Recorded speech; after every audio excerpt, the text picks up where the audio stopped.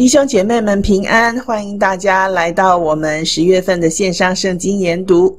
我们刚刚完成了《使徒行传》的研读，使徒们带着大能的福音，跟随圣灵前往全世界，翻天覆地。圣灵特别以保罗为例子，这一位使徒全速向他生命的任务以及目标奔跑。就如他所说的是，忘记背后，努力面前，向着标杆直跑。不论环境中发生什么样的捆锁患难，都不能够摇动他的心智，充分的展现出他心中不震动的国。保罗的这个个性呢，很鲜活的，借着我们的研读，活在我们的眼前。那如果你跟着我们的圣经研读，每一次的学习。并且反复的默想和反思的话，我相信多少你都会得到保罗生命的一些特质和样式传递在你的里面。这也是圣灵希望要我们得到的，因为这个特质呢，也是耶稣特质的一个部分。接着，我们今天就要随着耶稣的另一位门徒约翰来认识耶稣。约翰福音是很多人读圣经的时候所读的第一部书，为什么呢？因为它浅显易懂，其实它也是最深奥的一部书。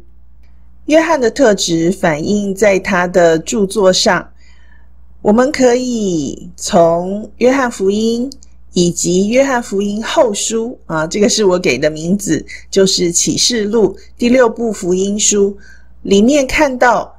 约翰的特质，《启示录》一章一节，耶稣基督的启示。这一节经文就充分的显示出启示录的目的是什么？不是告诉我们幕后有大灾难，所以我们要很害怕，然后就是期待耶稣赶快把我们带离开这个世界，并不是这样的啊！启示录的目的是启示。耶稣基督，让我们认识耶稣基督所记载的是耶稣基督复活以后，从天上的角度看到地上以及将来要发生的事情，也就是从创世纪一章一节开始，起初的创造，在起初创造的这一个创造的阶段以及目的中。最后的结局为何？当我们知道神在起初这个阶段的创造，并不是他创造的全部，而是其中的一个部分。所以在这个时间段里面，他的创造的结局为何，以及他最终的计划展现出来是什么样子？那么约翰福音呢？它的目的。也就是他写作的特质是什么呢？就是耶稣基督的启示。我们借着约翰对于耶稣基督的认识，神给他的启示来认识耶稣基督。而整个约翰福音的宗旨，就是在约翰福音的二十章三十一节所说。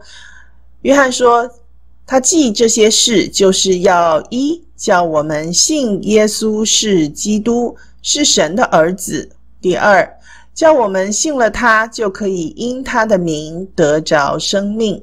所以你可以看到，在约翰的著作当中，也就是他这个人的特质啊，就是认识耶稣基督。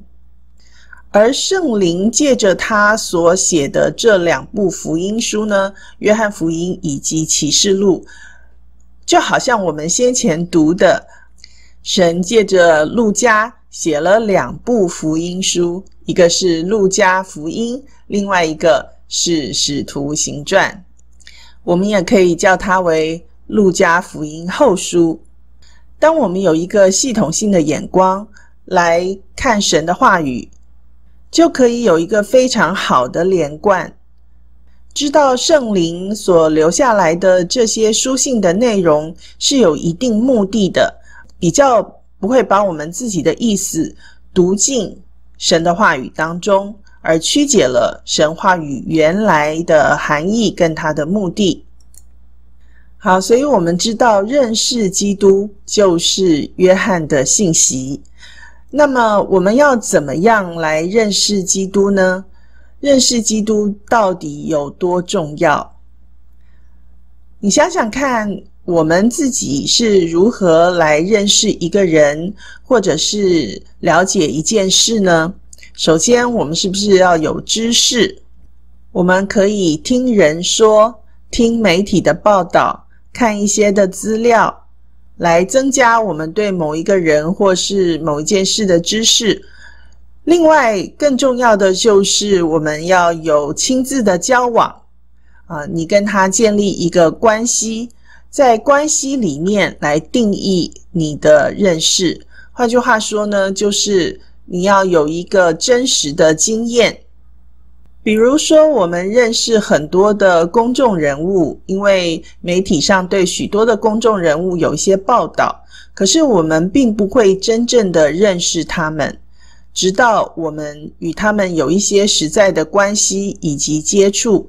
或者是我们看到这个人他的生命当中有什么果子啊？他做的事是好事还是坏事啊？他做的这些事情呢，或者是他的言行举止啊，带来他生命的果子是什么啊？是一种谦卑谦让，他喜悦帮助人，有爱心，或者是这样的人常常欺骗别人，做一些偷鸡摸狗的事情，夸大不实。生活上面是非常的骄奢淫逸等等这些的经验跟果子，我们来认识一个人。所以在这里，约翰替耶稣做见证，按着他与耶稣的关系，他亲眼看见、亲耳听到，借着他与耶稣之间的关系，也就是耶稣向约翰启示特别强烈启示的那一面。来做见证，告诉我们基督是谁。那为什么认识基督是谁这么重要呢？为什么圣灵认为我们不只是要知道耶稣基督为我们做了什么事，而且更要了解他是谁？你可以想一想。首先呢，我们是按照神的形象所造的，唯有认识基督。我们才能够认识自己，我们到底是谁？你是谁呢？要知道我们是谁，你必须要有一个基准，才能够反照出自己是谁。我们是谁，不是出自于世界的定义，而是来自于神给我们生命的特质以及任务。这些生命的特质以及任务是要在基督里面。才能够反映、反照出来的。在基督的门徒当中，最接近他的三位，就是他带到变相山上的彼得、雅各、约翰。其中呢，约翰称他自己为耶稣所爱的门徒，或是耶稣所爱的那门徒，或者是耶稣所爱的。你想想看，如果别人听到他这样称呼自己，尤其是彼得啊。会不会很想捶他呢？其实彼得和约翰的关系是不错的。虽然耶稣爱世人，爱他一切所创造的，也爱他所有的门徒，但这并不影响约翰对他自己生命的定义。耶稣所爱的，这就是约翰对他自己的身份认同，以及他的头衔，是他的名字，是他对自己的认知。我是谁呢？我是耶稣所爱的那一位。这个名字呢，在约翰福音当中至少出现六次。第一次呢，是在约翰福音十三章，耶稣第一次提到有人要背叛他。这时候门徒们应该都会有些紧张吧？不知道自己会不会是背叛耶稣的那一位。十三章二十三节。有一位门徒是耶稣所爱的，就侧身挨进耶稣的怀里啊。我们知道当时他们吃饭都是有一些啊半卧半坐的那样的姿态，他可能就是靠近他啊，想要知道是谁啊。所以彼得就问他说：“是谁？”啊，第二次这个名字出现的时候呢，是耶稣在十字架上将他的母亲托付给使徒约翰。我们上次讲过，约翰因为要奉养耶稣的母亲，所以他在以佛所待了很长的时间，一直到耶稣的母亲去世之后，约翰才开始旅行传道。可见得耶稣跟约翰的。关系是很亲密的，他将他最亲爱的母亲托付给约翰，而且他为什么会这样做呢？因为当他在十字架上的时候，在他十字架下面的两个人，一个就是约翰，一个就是耶稣的母亲。再来是耶稣复活之后呢，他的身体已经不在坟墓之内，门徒发现以后。结果，耶稣所爱的那门徒就是第一个跑到坟墓里面去看耶稣身体的。再来就是耶稣复活之后第三次的显现，耶稣所爱的那门徒首先认出是主，所以他对彼得说：“是主。”彼得就赤着身子，一听是主，就束上一件外衣，跳到海里去，觉得很不好意思啊。耶稣去世之后，他们没有去传福音，反而觉得非常挫折，跑回去打鱼了。第五次是耶稣与门徒们在海滩上吃饭啊，这时候呢，主所爱的那门徒也在。再来就是耶稣要上十字架之前的那一个晚上，与他们共同吃饭的时候，再一次。提到耶稣所爱的门徒，我们看到这个名词出现的时候都是非常关键的时刻，表示约翰和耶稣的关系真的是非常的亲近。那你会跟什么样的人的关系非常亲近呢？我相信你一定会跟了解你的人关系比较亲近，越是了解你的人。你越能够觉得是亲近他，越是不了解你的人，你越是觉得不能够亲近，甚至于呢，你会想越少跟那样的人有接触越好，因为彼此是不能够沟通的，对不对？所以当约翰写耶稣是谁的时候，他的层次跟深度。就跟其他的门徒所认识的角度是非常不一样的。所以，当约翰使用这个名字的时候，我们知道他首先所想要表现的就是他所说的一切，他跟耶稣之间的关系是实在的。耶稣并不是一个幻影，耶稣是他亲眼所看、亲耳所听、亲身经历过的一个真实关系的见证。第二个，这是约翰最重要的身份认同，是他的标志，他就是耶稣所爱的。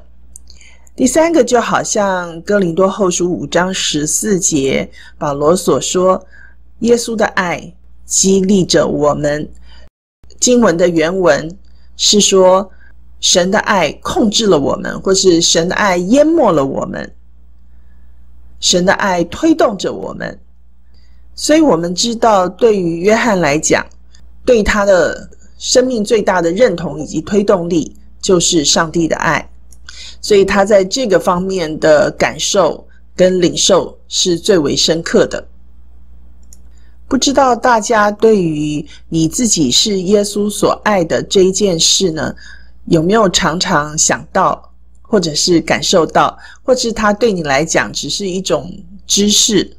啊，呃，你可以试着像约翰一样，在这个耶稣所爱的后面加上你的名字。啊，当你祷告的时候，你就到神的面前说：“啊，主啊，我就是你所爱的某某人。”使徒约翰他对自己的定义不是以他做什么样的工作啊，他没有说我是使徒约翰 啊，或者是社会地位啊。所赋予的身份啊，作为他的身份认同，他是以天上的眼光来定义他自己。所以，当我们面对生命的一切事的时候，保罗说：“谁能使我们与基督的爱隔绝呢？难道是患难、困苦、逼迫、饥饿、赤身肉体、危险、刀剑吗？”可是很多时候，其实我们不用经历像保罗那么恐怖的事情啊。啊，在生命当中，很多的这种挫折啊，或者是恐惧。也会引起人们很容易的呃自我怀疑，或者是啊懊悔啊，呃自怜，或是觉得自己被亏待啊，自怨自艾、抱怨、放弃等等。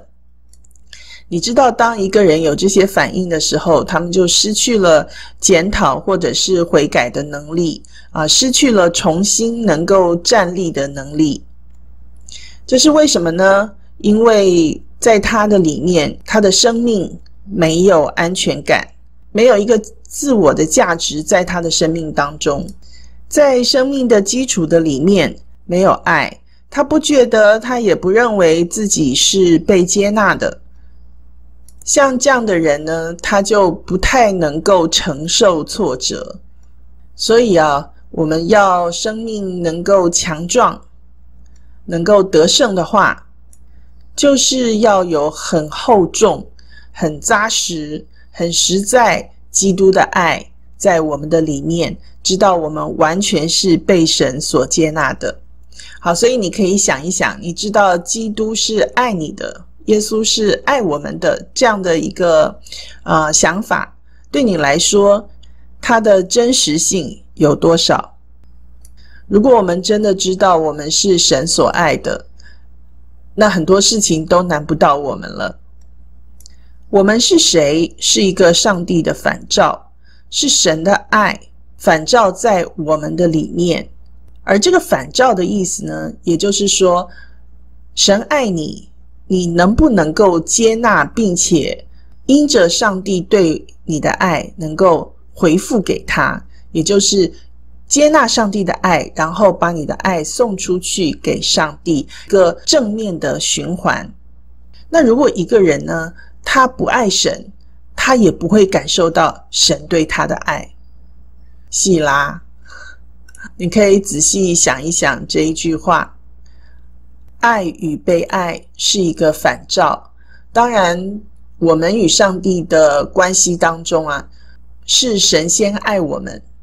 神仙吸引我们，神仙拣选我们，然后看我们的回应为何。当我们越多愿意接受上帝的爱，相信上帝的爱，你就有越多的能力去爱神，啊，形成一个正面的循环。约翰就是这样的一个人，可是你不要认为约翰一开始就是一个这样温柔的个性。其实并不是的。约翰另外一个名字叫做雷子，意思就是他是一个非常脾气暴躁的人。在路加福音第九章记载，呃，耶稣被接上升的日子到了，就定义向耶路撒冷去。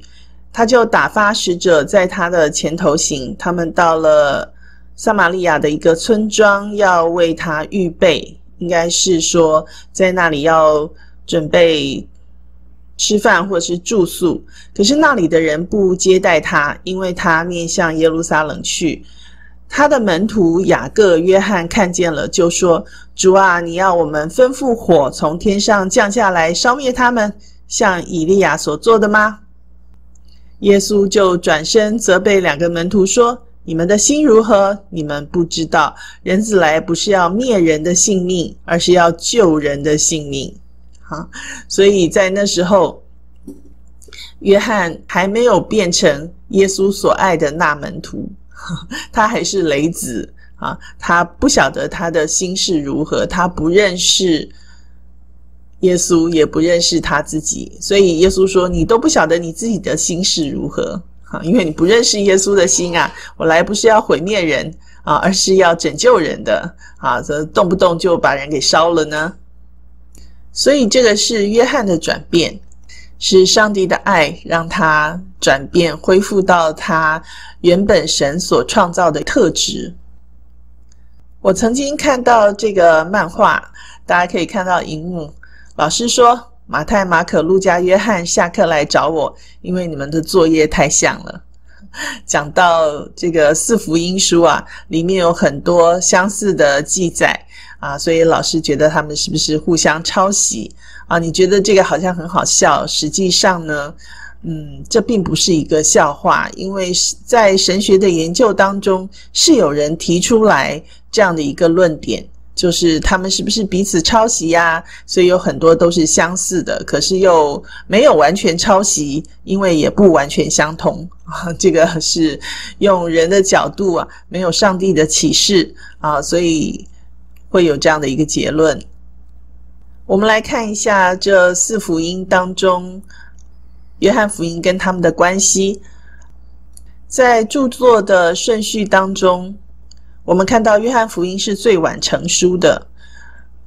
马太、马可、路加、约翰，我们叫他们做福类福音或是对观福音啊，就是中文的翻译是这样。呃，我们可以看到它的意思啊，如果我们用对观福音来来看的话，就是他们可以相互对照。啊，他们的记载是比较多的重复类似的事件啊，虽然从他们个人的角度来记载的出发点呢，根据他们个人的特质是不一样的啊。那么圣灵让这三个福音书同时存在呢，当然就是显出啊，他们所观察啊，耶稣虽然在同一件事上啊，或者是他们所重视的。所记录的内容是不一样的，就显出来啊，耶稣生命当中不一样的面相。比如说，在马马太福音里面啊，他的作者是税利马太，他是一个犹太人，所以他是以一个啊，耶稣是君王的角度来记载。为什么呢？我们会这样讲，因为它里面写了很多有关于天国的教导啊。耶稣作为一个犹太的君王。他要来复兴以色列国，那么他的国度是什么样子？在马太福音里面，一开始我们就会读到耶稣的家谱啊。那么这个耶稣的家谱呢，是从约瑟往上追溯，一直到亚伯拉罕啊。所以这个亚伯拉罕也是这个犹太人的民族的起源嘛。马可福音是在这四部福音书当中比较短的，为什么呢？因为它很注重行动。呃，在马可福音开宗明义就说到耶稣神的儿子，所以他也是说到耶稣是神的儿子，可是并没有更多加以记载。他的记载观点呢，更多是耶稣顺服了上帝的旨意，然后产生了很多立即的行动。呃，有很多人说马可福音写的是耶稣作为一个仆人的样式，听从天父的旨意来执行任务啊，这样也是可以的。这个观点也是很好的。路加福音啊，就是路加医生写的，路加医生所记载的很仔细，按着时间的顺序，对于许多的人物都有仔细的描述。他记载。耶稣基督的家谱是从玛利亚这一支一直追溯到亚当，所以不论是从路加福音或者是马太福音啊，都是从耶稣的父母亲，一个是追溯到亚伯拉罕，一个是追溯到亚当，就是神造人之后，或者是神拣选了亚伯拉罕成为呃一个民族之始啊，来往上追溯啊，尤其是。追溯到耶稣的祖先是亚伯拉罕的时候呢，对于犹太人来讲，这个意义非常的大啊，让他们知道他们所期待的犹太君王是耶稣。呃，从路加福音的观点啊，路加的记载，耶稣是一个完美的人，他行在地上所行的一切事情，是以一个完美的人的展现，在我们的面前。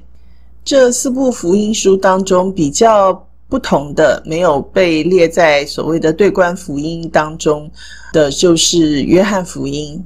他所书写的角度呢，直接就追溯啊，耶稣基督的起源是在创世之前，是从神而生的，他是神的儿子完全没有讲到他是出于地上的任何的血统。他的观点跟其他三位的观点是非常不同的，所以在他的记录里面也记载了很多是另外三位作者没有记载的。整个约翰福音一共有二十一章，第一章是一个介绍。第二章到第十二章讲述耶稣在地上的神迹，尤其是第十一、十二章是耶稣在行过各样不同神迹当中最大、最令人震撼的使死人复活的神迹之后呢，宗教领袖就开始想要杀他，所以在约翰福音的后半所记载的就是耶稣。上十字架的最后一天，以及最大的任务——钉死十字架，并且死里复活。然后第二十一章作为一个结束。更多了解刘代华博士的服饰及支持荣耀时刻频道，请参阅以下资讯。